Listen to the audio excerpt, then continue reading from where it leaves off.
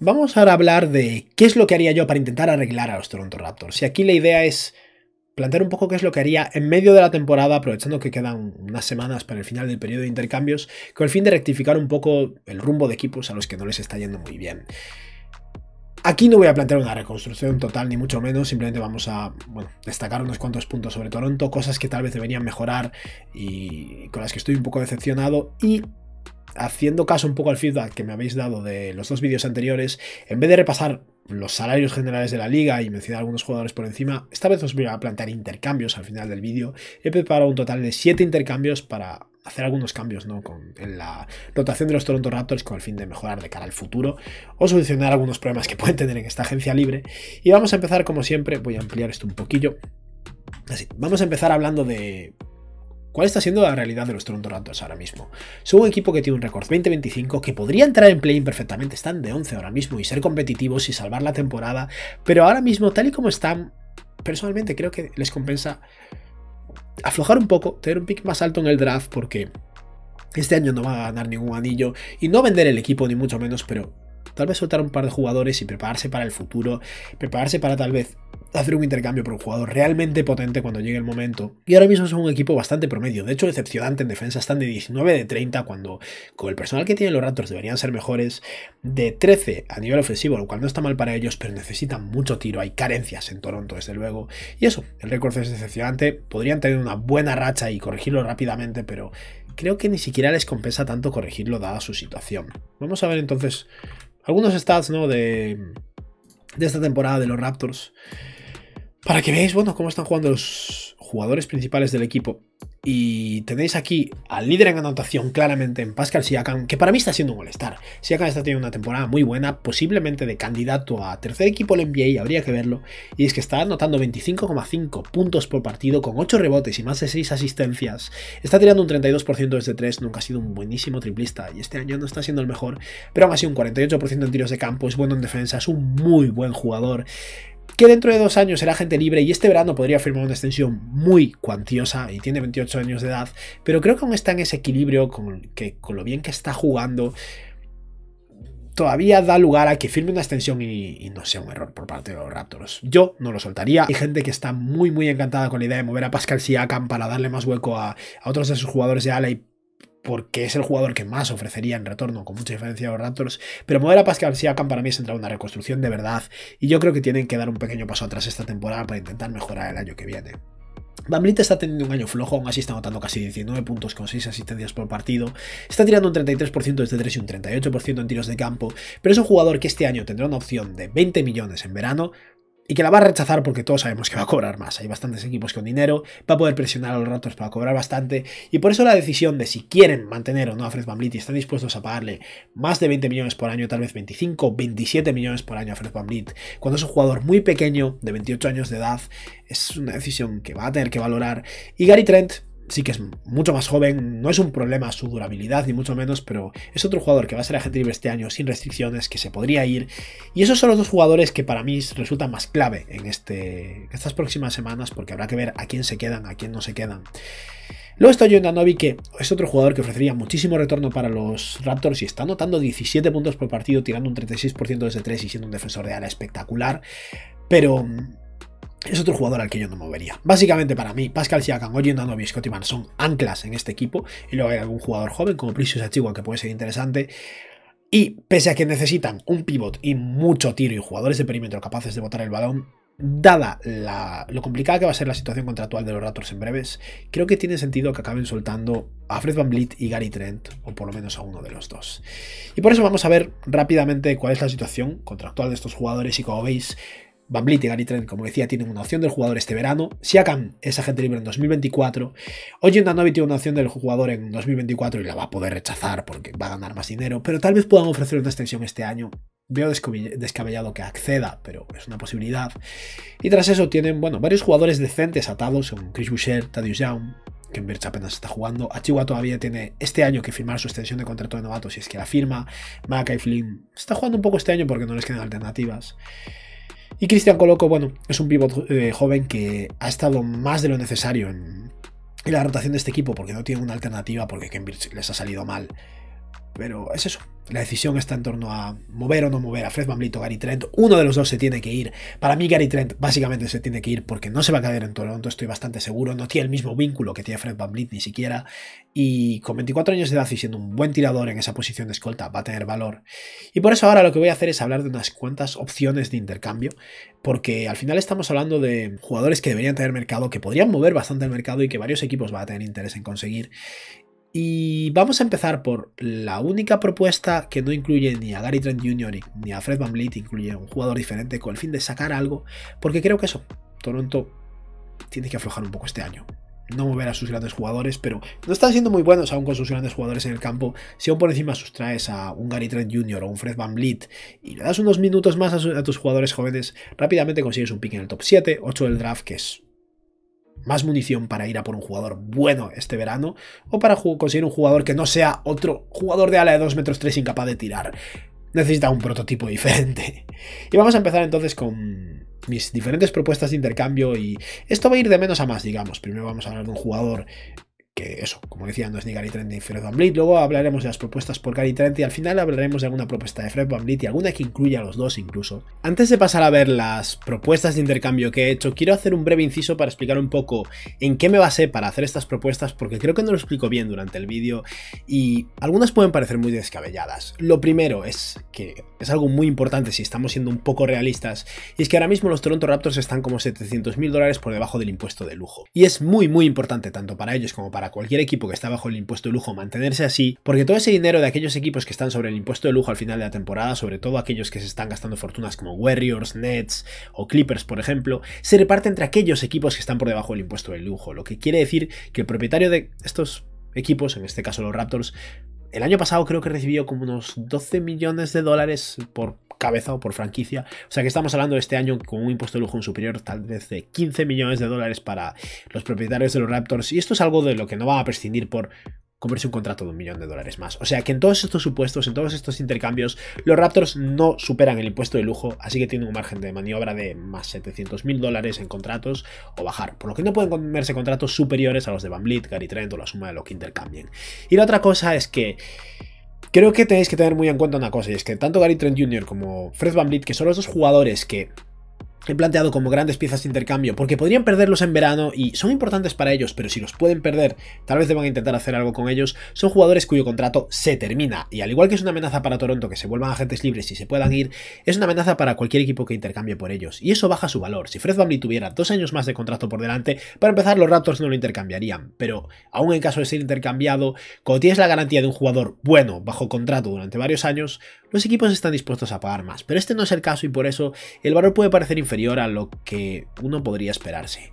Y ahora sí, os dejo con los intercambios, decidme qué os parecen. En algunos casos supongo que os parecerán aberraciones o que estoy ofreciendo poco por parte de los Toronto Raptors, pero creo que esto es bastante realista desde mi punto de vista. Y nada, espero que os guste. Mi primera propuesta es esta, y es el único intercambio de tres bandas que veréis en el que básicamente los Suns consiguen a un ala pivot a cambio de otro a la pivot en Jay Crowder, porque realmente Crowder no juega para ellos, tiene lesionado a Cameron Johnson y necesitan a un ala pivot. Y con esto Toronto básicamente cambia a Thaddeus Young, que es un buen jugador, que tiene dos años de contrato cobrando unos 8 millones, por Grayson Allen, que es un jugador complicado a nivel de personalidad, pero que es capaz de tirar como mínimo y les aporta un poco espaciado y les prepara también para perder posiblemente a Gary Trent Jr., eh, mientras que los Bucks consiguen a Jay Crowder y Toronto por encima se lleva algunos picks. La idea básicamente es que los Suns intercambian a Jay Crowder por Thaddeus Young y tras eso los Raptors mueven a Jay Crowder a otro lado. El intercambio puede parecer más de lo que es porque pongo ahí a Toronto recibiendo una primera ronda de los Suns, pero a cambio los Suns reciben la segunda ronda de este año de Toronto, que si Toronto afloja va a ser un pick 35 más o menos y los Suns podrían proteger esa primera ronda de la lotería y probablemente sea básicamente cambiar un pick 20 por el 35. Es algo similar a lo que hizo Toronto precisamente el año pasado, pero a la inversa. Y aparte de eso, Milwaukee le ofrecería un par de segundas rondas a Toronto a cambio de Jay Crowder y a cambio eso, los Raptors conseguirían a Grayson Allen. Creo que es una manera en la que los Raptors consiguen un poco más de tiro, se llevan algo de valor adicional, los Suns consiguen un jugador y los mm, Bucks por fin consiguen a la pivot que necesitan. Pasamos entonces a la primera propuesta de intercambio en la que los Raptors mueven a Gary Trent Jr. Y esto es complicado.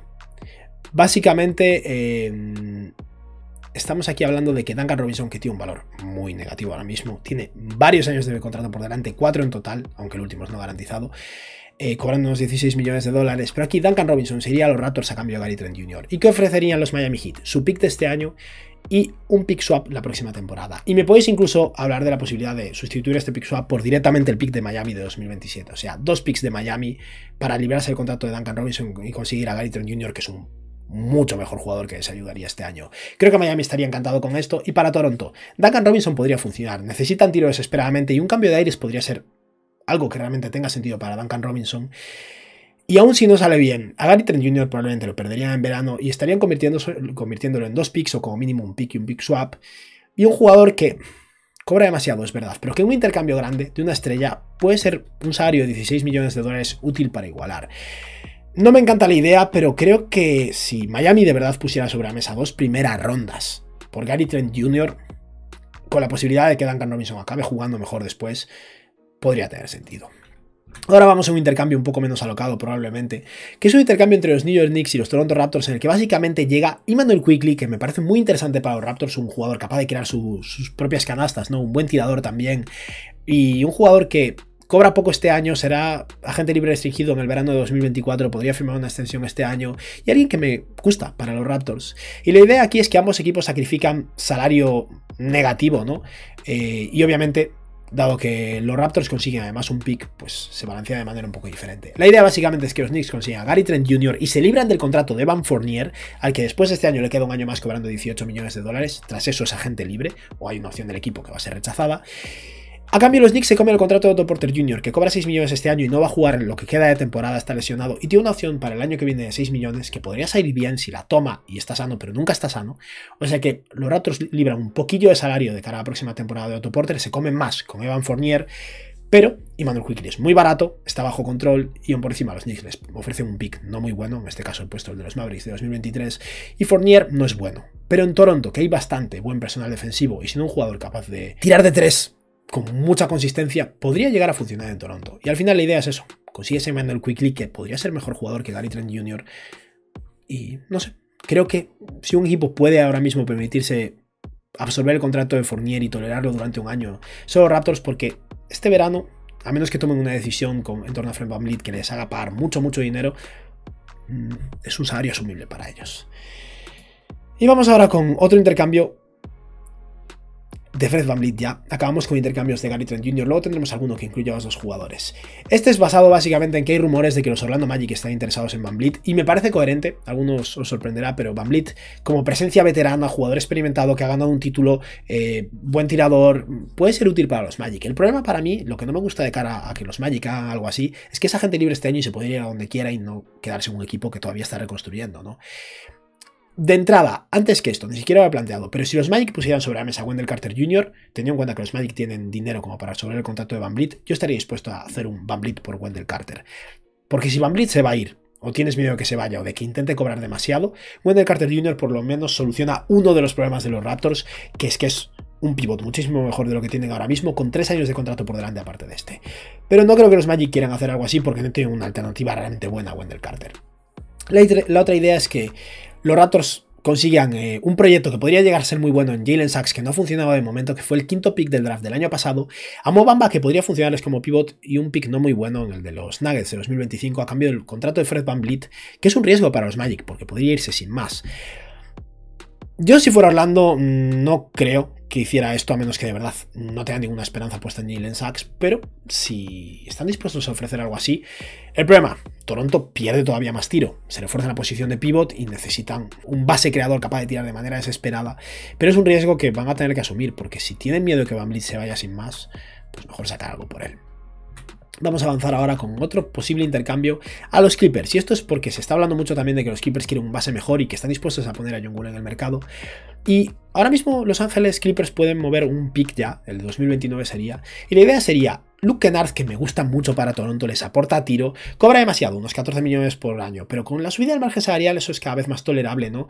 Y les aporta mucho tiro en esa posición de escolta. John Wall es un base, mm, mucho peor que Van Beat, pero un base que puede jugar durante este año y el que viene, cobra 6 millones y consigue un pick de los Clippers. Y con esto los Clippers son un muchísimo mejor equipo. Tienen todavía Norman Powell en la posición de escolta, o sea que la pérdida de Kennard no es tan grave.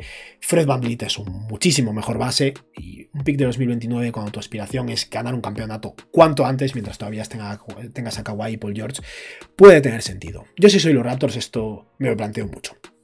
Porque al final el tiro de Kennard mm, pasa bastante desapercibido, pero es uno de los mejores tiradores de la NBA. Y ahora creo que ya vamos a pasar a intercambios realmente potentes, solo quedan un par. Y primero vamos a hablar de los Lakers. Aquí os traigo un intercambio para los Lakers sin mover a Russell Westbrook, lo cual eh, parece curioso. Pero esto no me parece tan descabellado si los Lakers de verdad ponen los picks sobre la mesa. Y si los Lakers hacen un intercambio así, pueden ser un equipo competitivo este año. No sé si favoritos, pero mejoraría mucho. Todos sabemos que Los Ángeles tiene ahora mismo un exceso de guards, ¿no? Bases escoltas. Y aquí podrían sumar el contrato de Patrick Beverly de unos 13 millones con el de Kendrick Nunn de unos 5 y se ponen ya en 18 millones, con lo que pueden intercambiar por Van Vliet. Y aquí he puesto a los Lakers ofreciendo su pick de 2027 y un pick swap en 2028. Podría incluso ofrecer el pick de 2027 y el de 2029 en vez de un pick swap, pero me parece hasta demasiado valor teniendo en cuenta que Van Vliet es agente libre este año y eso baja mucho su valor de intercambio. Pero de esta manera los Raptors lo que consiguen es valor en picks y ya está, porque Damian Jones es un jugador que tiene una opción del jugador para el año que viene de 2 millones, es algo de lo que los Lakers están librando.